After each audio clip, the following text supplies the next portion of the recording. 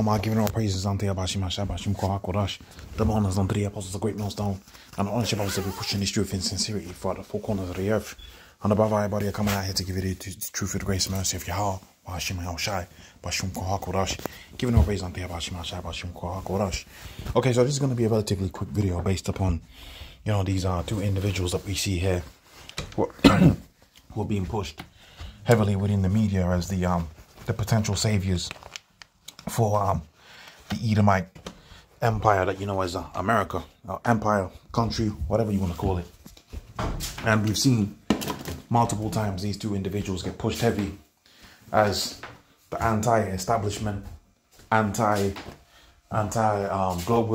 Okay, they're supposed to be these great revolutionaries representing the the um, old school, old school Edomite. Okay, the reality of the situation is this is what you know as Hegelian dialectics, okay? This is what we know as Hegelian dialectics, where the Hebrew Edomite Esau, he presents you with two seemingly opposing ideas that ultimately converge into a, the idea that he really wants to push, which is ultimately that we understand is the enterprise of the wicked, the new world to the order, excuse me, right? So, you know, they've had the psyops play out and now they're going back to the to the site of the psyops, and um, you know, many are going to be fooled by these particular things, which you know is irrelevant whether you believe it or not. It's whether it's it's it's it sells um it sells a story. These are elites already know who they're gonna put into power, and they already know what they're gonna do when that particular person is chosen and has been put into a position of power. That being Kamala or Trump. Okay, and what do we understand? We understand that America is nosediving into poverty. Okay, Babylon, which is America according to the scriptures, and we've understood this multiple times that Babylon, according to the scriptures, which is America, is indeed America, is nosediving into a position of poverty and into the time that's known as the time of Jacob's trouble.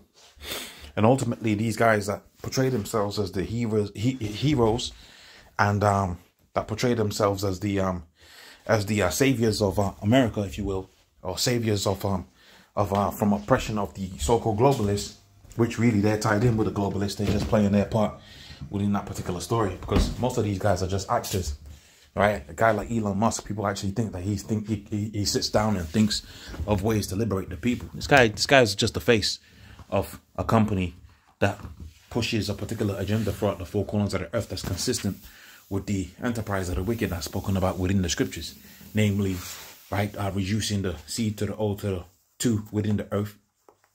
Okay, um, those those particular agendas we understand that's that's consistent with what we're getting out there from from um the so-called World Economic Forums. Okay, and these are these are agendas that are being pushed within the world, within the earth, for really, all right, people people reduction. Okay, people reduction. Now you use whatever word you want to use to replace that particular statement that I've made, and you will understand what I'm speaking about right now, which which is a which is a uh, um which is uh dealing with the the NWO, right? So, you know, if you're simple minded, you're gonna see this guy and you're gonna think, oh yeah, man, he's gonna he's gonna deliver Babylon, right? But we're gonna see a scripture here. Okay, we're gonna keep it nice, nice and simple today, but we're gonna see a scripture here. Let's go to the scriptures here. we're gonna put healed here. We're gonna put Babylon, Babylon, okay, which is America. So this is the book of Jeremiah, the first chapter and the eighth verse, right? And this is this is a good scripture, really. Except from the seventh verse, Babylon has been a golden cup within the Lord's hand. So America has been used to push filthy, filthy ideas and ideologies throughout the four corners of the earth. Okay, namely, um, idolatry, adultery, um, spiritual fornication, whatever you want to call it. Uh, Babylon America has pushed it. You see it within their mainstream media. You see it within their television. You see it within their music, right? The Most High use America as the instrument of pushing, of pushing degeneracy, which which just means to degenerate. So the Most High created man, but it repenteth the Heavenly Father Yahweh Shai that He made man because man has degenerated. He's become a beast. Okay, man's become a beast, and what does a beast do? A, a beast lives by no order. There's no order on the earth anymore. If you look at it, there's no order on the earth anymore. There's a bunch of people doing a whole bunch of things, man. There's no order on the earth anymore. No order. Right? And he repent of the Most High that he made man. Right, so continuing here with this with this particular scripture. Scripture says Babylon has been a golden cup within the Lord's hand, and he's made all the earth drunken, the nations drunken, therefore the nations are mad. But check this out. Eight. Babylon is suddenly falling. Partly, you know, because the elites have designed America to be destroyed via the um, fractional reserve banking, via many other uh, different uh, uh pathways by which America is going to be destroyed. But ultimately, we understand it's the Most High working through who? Through Esau. So Esau's designed a system where he's gonna he's gonna destroy himself, which is kind of crazy when you think about it. But that's how the Most High fated it to be so. Now check this out. Look at this scripture, the ninth verse, which is the point of this video. We would have healed Babylon, but she is not healed. Forsake her, let us everyone go into his own country, for our judgment reacheth unto the heavens. So these these individuals that you see here, they push themselves as the healers of uh, Babylon, right? That they're gonna heal America. Remember what, what the mantra of uh, Trump last time was make America get great again. But America is not going to be great again. America has been the instrument of degeneracy, like we mentioned a second ago, throughout the four corners of the earth. And the Most High setting her up for a fall. And she ain't going to re recover again. That's how they that's how they designed it. They've designed it to where it's not going to recover again.